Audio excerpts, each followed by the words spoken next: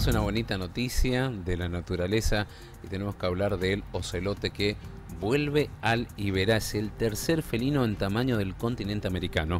El ocelote es el tercer felino en tamaño del continente americano y uno de los más lindos. En el pasado habitó desde el sur de los Estados Unidos hasta el centro norte de Argentina, pero en los últimos 150 años perdió una buena parte de su área de distribución. En Corrientes aún sobrevive en el extremo noreste, en el límite con Misiones y la cuenca del Aguapey, en el Parque Iberá. El último registro fue el del macho fotografiado por cámara trampa en el año 2015 que no fue, después no fue visto nuevamente. Hoy con inmensa alegría y junto a la provincia de Corrientes anunciamos el inicio de un proyecto que intentará devolver a esta especie a Liberá.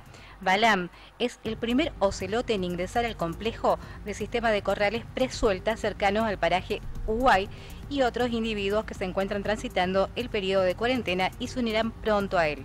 Todos ellos provienen del establecimiento La Peregrina en Buenos Aires. El jaguarete, el felino más grande del continente americano, está regresando a Liberá a través de un proyecto de Rewilling. El puma, el segundo en tamaño, está volviendo poco a poco por sus propios medios. Ahora es el turno del ocelote. El Liberá es cada vez más bello, completo y funcional.